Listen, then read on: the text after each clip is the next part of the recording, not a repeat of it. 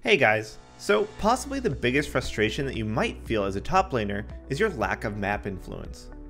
Being so far away from the rest of the map, off on your own little island, usually limits your ability to have much pressure on the rest of the map. We'll be addressing how to deal with this feeling in a small video series where we'll talk about all the options top laners have when it comes to actually having game impact and increasing the odds of winning the game. The first topic that we'll cover in this mini series will be split pushing. And there's two types of split pushing. You can either split to enable yourself to hard carry a game or to help your team. We'll be covering the more selfish of the options in this video and talk about the more traditional split pushing where you're actually trying to get towers and play for yourself. Despite top lane being so isolated and normally seen as being a low impact role, split pushing is one of if not the best strategies for hard carrying games. And why is this? Well, being so isolated does come with a benefit. Top lane is by far the snowballiest role in the game. Once you obtain a lead in top, it is very difficult for your opponent to do much about it. This is because top lane is filled with melee all-in types of champions who don't have many options once they fall behind. They can't push or CS from a safe distance, so it is very easy to punish them whenever they try to do anything. Even if you're a late game scaling champion, once you're ahead in top, it is very easy to push that lead. Because of this, you shouldn't become complacent with a small lead in top.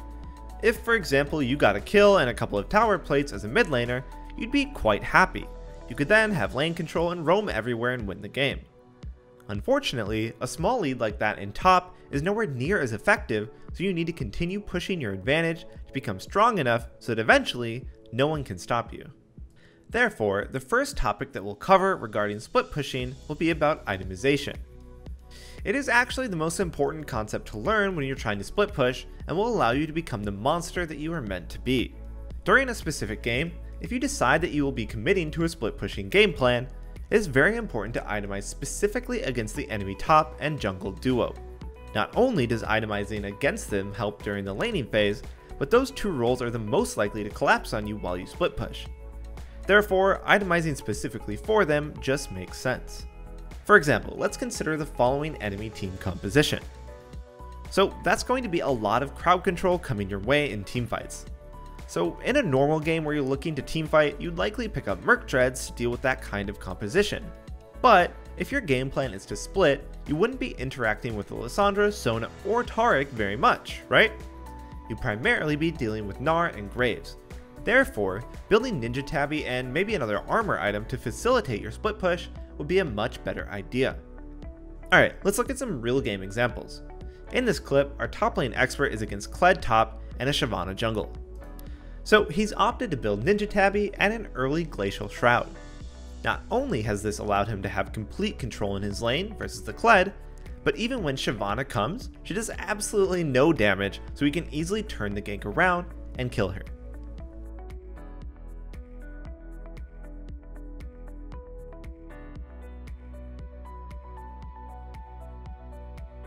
Let's take a look at another example from a Nasus game. Here, he's up against a Rumble and Rammus combo, so he opted to rush Merc Treads and also took the Tenacity rune. Not only did he have the magic resist to deal with Rumble's damage, but with all that tenacity, Rammus's crowd control was completely irrelevant. With simple itemization, he's well on his way to hard carrying this game. So those are two pretty obvious examples of what to build. What if the enemy team has mixed damage though? Well, at that point, you'd want to itemize against what is immediately more threatening. Let's say that you've completely dumpstered Vladimir top lane, but the enemy Lee Sin is 5 and 0. In that case, you'd want to prioritize building armor so that the Lee Sin wouldn't one-shot you. Or if you're confident in your ability to outplay and the enemy team doesn't have much to threaten you with, it's totally okay to just do your usual build and focus on damage.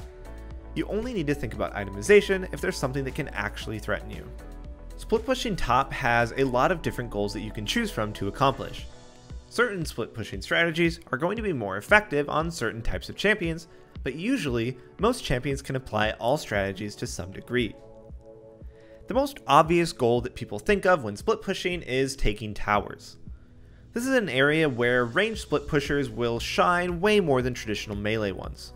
Ranged champions have the advantage of being able to play in and out of tower range, which enables them to poke out the enemy, forcing them to base, which can lead to some great tower damage or even the whole tower.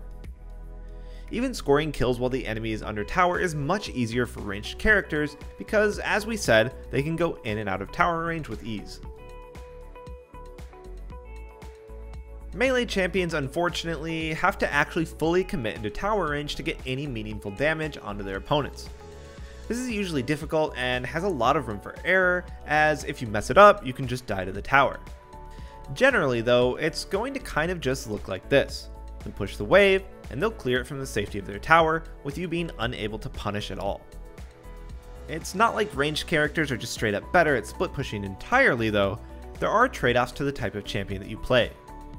Melee champions can snowball incredibly hard and excel at brawling when ahead, so they can start to look a bit like this once they get rolling, whereas ranged champions are a bit more limited in how they can fight.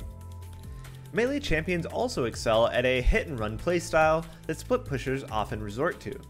You'll likely be collapsed on at some point, and being a mobile champion such as Camille, Fiora, Riven, or Tryndamere in this case, to run your opponents around is very advantageous. Every time that you're being collapsed on by multiple people is time that they're not farming, getting vision, or picking off your team. Try not to get too upset if your team isn't getting much done on the other side of the map. You're still generating value by wasting the enemy's time, and the more often you do manage to waste their time, the more likely that your team actually manages to get something done. Unfortunately, sometimes getting tower damage or kills while you split push isn't going to be very easy. For example, this game the Garen is building full tank making it very hard for Tryndamere to pressure him. Another option available to you in this type of situation is to start taking enemy jungle camps. Like we stated, with proper itemization, you can eventually reach the point where you can start taking 1v2 or even 1v3 fights. Well, you can speed up that itemization goal by taking jungle camps, which will put yourself even more ahead and the enemy jungler more behind. But what if their camps are down and you're left with nothing to do?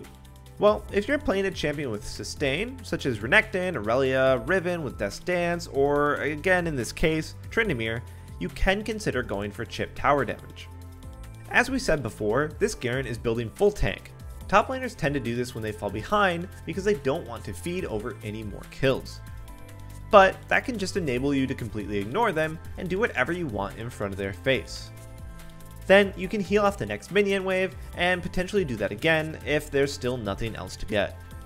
One extremely common mistake that we notice when we watch players split push is not waiting for your team to have pressure. If you're pushing and your team is in base, you shouldn't be playing too aggressively since the enemy team can collapse on you for free. In cases like this, it is 100% fine to just AFK and wait for your team to get back out on the map. It does suck that you're not able to do anything, but it's better than dying for free and having to wait to respawn anyways. And the last thing that we want to touch on regarding split pushing is knowing when to exert pressure where your opponent is already hurting. In this game, SKT's Khan managed to take the bot lane inhibitor by being a beast and 1v2ing the enemy top and jungle.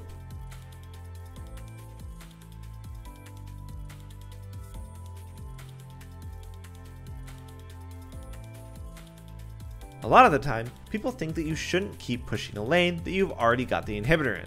But, as a wise mentor once said, just sweep the leg. If you sense weakness, it's usually a good idea to show no mercy and keep exerting pressure there. In this game, bot lane is really vulnerable to Khan's split push because Karma is a weak wave clear champion and has absolutely no way of stopping him by herself. So he just kind of ignores her and takes both of the Nexus towers. This causes the enemy team to panic and send 5 people to stop him, and his team can also just take the top tower then. That's the kind of split pushing that everyone wants on their team. Alright, we covered a lot, so let's end things here. We'll very likely revisit split pushing as there's no way we could cover everything regarding it in one video. Stick around for next week's guide on how to split push to help your team rather than yourself, and thanks for watching.